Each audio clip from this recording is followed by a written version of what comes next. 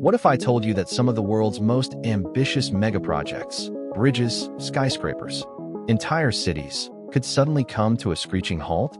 Or that one political decision in a single country could send shockwaves through the entire global construction industry, adding billions in unexpected costs?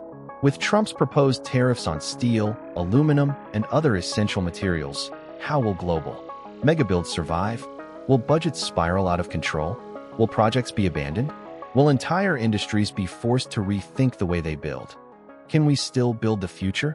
Stick around. Let's unpack this tariff talk together. All right, let's break this down. Back in 2018, Trump slapped a 25% tariff on steel and 10% on aluminum, claiming it would protect U.S. industries.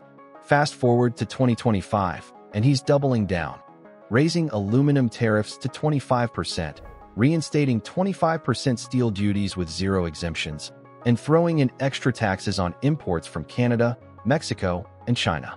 What does this mean? Simple. Everything just got a lot more expensive to build. In 2018, tariffs sent steel prices soaring by 14% in a single year. U.S. steel imports plummeted 19%, forcing developers to buy pricier domestic steel. Industry experts warn that the new 2025 tariffs will push construction costs even higher, leading to delays, cancellations, and abandoned projects.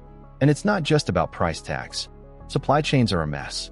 Material shortages are stretching timelines, labor costs are rising, and some of the world's most ambitious projects are now hanging in the balance. Let's put this into perspective. Steel and aluminum are the bones and muscles of modern construction. If their prices jump, so does the price of everything that depends on them. Think about this. A 1% increase in steel costs might not sound like much, but on a billion dollar project, that's an extra $10 million. Money that has to come from somewhere.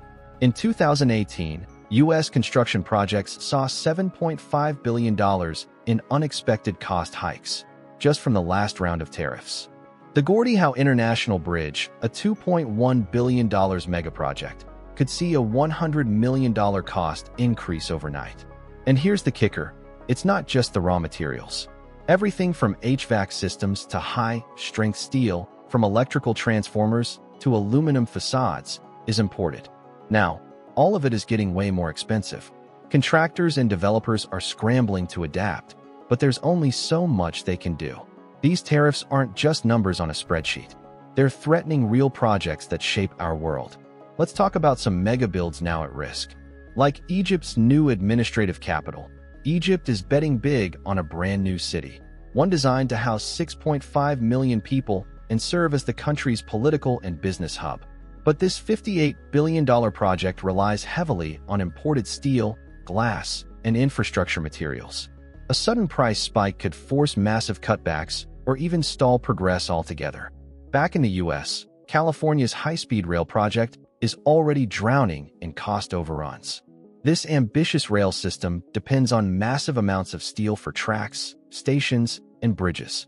With the project already ballooning past $100 billion, these tariffs could push it even further into financial uncertainty. If construction slows or funding dries up, the future of high-speed rail in America could be in serious jeopardy.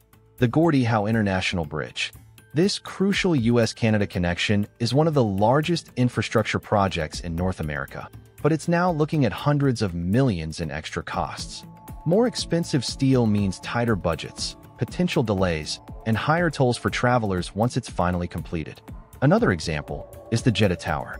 The world's first one-kilometer-tall skyscraper is already a massive engineering challenge.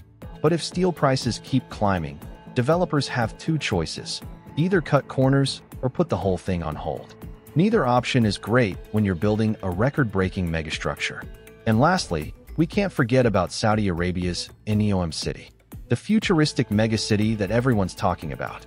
Complete with a floating port, an artificial moon, and a 100-mile linear city, this relies on huge amounts of steel and imported technology. But with tariffs driving up prices, Saudi Arabia is now negotiating long-term steel supply deals with China, reducing reliance on Western imports. This could shift global trade patterns for decades. But the construction industry isn't just sitting around waiting for costs to skyrocket. Here are five ways developers are fighting back.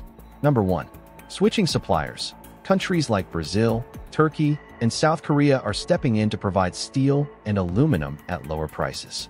But switching suppliers isn't always easy.